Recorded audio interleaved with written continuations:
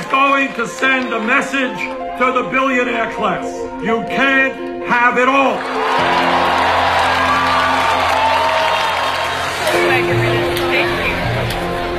I'm running for president of the United States because we have four beautiful kids and seven incredible grandchildren.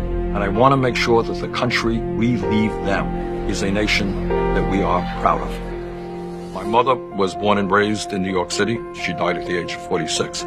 We had a three and a half room rent controlled apartment. At that very early age, I think I began to realize the impact that lack of finances have on families. My father came to this country from Poland at the age of 17, worked every day of his life. I grew up in Brooklyn. Many of the families were immigrants, and they understood the importance of education. We don't have a strong economy unless we have a very well-educated workforce. That is why I, as president, will fight to make tuition in public colleges and universities free as well as substantially lower interest rates on student loans.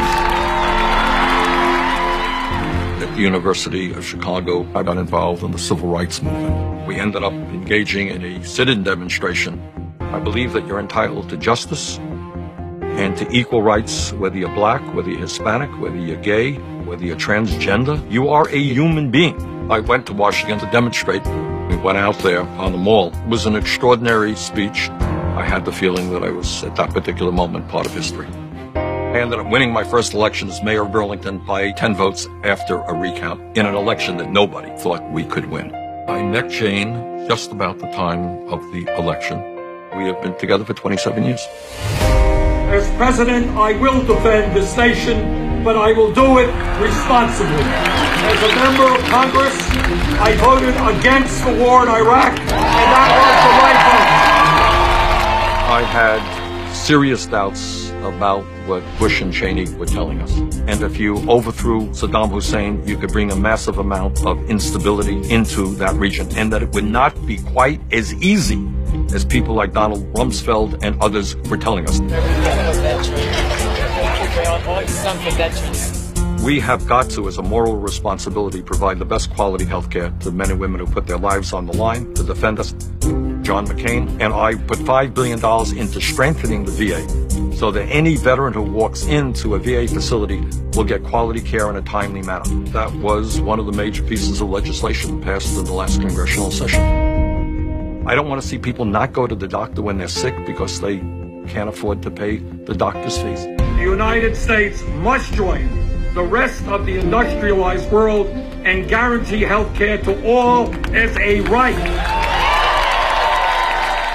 Nothing is closer to my heart as someone who has kids besides the issue of global warming. There is nothing more important than leaving this country and our entire planet habitable for our kids and our grandchildren. Climate change is real. It is caused by human activity, and we have a small window opportunity to transform our energy system, cut carbon emission, and move in a very different direction. This campaign is about putting Americans back to work at decent paying jobs. Let's get started. Let's put a trillion dollars over a five year period. Let's create and maintain 13 million jobs. Let's make our infrastructure stronger, safer, more efficient. We must establish pay equity for women workers. Bottom line is that if somebody works in this country for 40 hours a week, that person should not be living in poverty.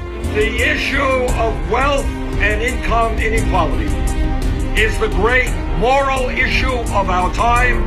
It is the great economic issue of our time. It is the great political issue of our time. This type of rigged economy is not what America is supposed to be about. This has got to change.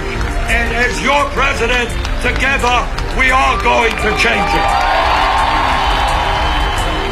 I will be working hard to overturn Citizens United. That is the undermining of American democracy and the qualities of this country which have made us the envy of the entire world.